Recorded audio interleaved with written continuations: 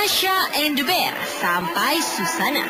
Beragam maskot program Antv turut serta memeriahkan hari ulang tahun Antv.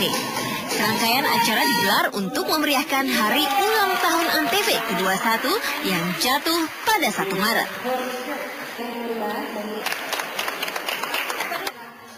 Berbagai lomba menarik digelar, di antaranya lomba greetings, ucapan selamat ulang tahun Antv, hingga flash mob performance dari masing-masing divisi di Antv.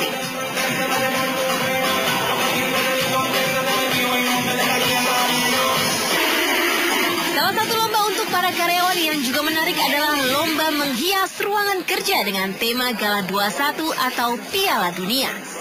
Tema Piala Dunia diambil sebagai bentuk penyambutan Antv sebagai official broadcaster Piala Dunia Brazil 2014. Beragam ornamen dengan dominasi kuning dan hijau serta karnaval menghiasi ruangan-ruangan kerja Antv di kawasan epicentrum Kuningan, Jakarta Selatan.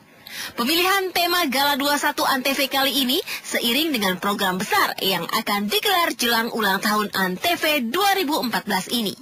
Tema ini pula yang akan digunakan dalam perayaan ulang tahun Antv di tenis indoor Senayan 30 Maret 2014 mendatang. Ya, untuk ulang tahun Antv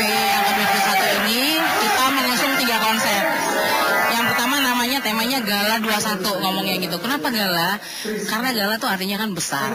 Dan memang kebetulan di tahun 2014 ini uh, Antv tuh punya program-program besar. Satu yang kita lihat seperti di belakang kita ini lagi syuting Super Deal. Super Deal tahu hadiahnya gila-gilaan.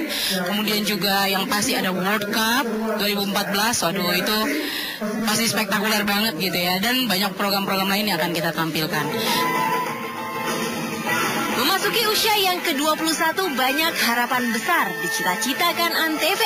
Selain bisa menjadi TV nasional peringkat pertama, juga agar bisa semakin menghibur masyarakat. Semangat kebersamaan dan gempita perayaan ulang tahun Antv tentunya memacu seluruh karyawan bekerja lebih baik lagi di tahun-tahun mendatang. Demikian laporan Melisa Gandasari, Andi Isworo, dan Ferdi Novian dari Jakarta.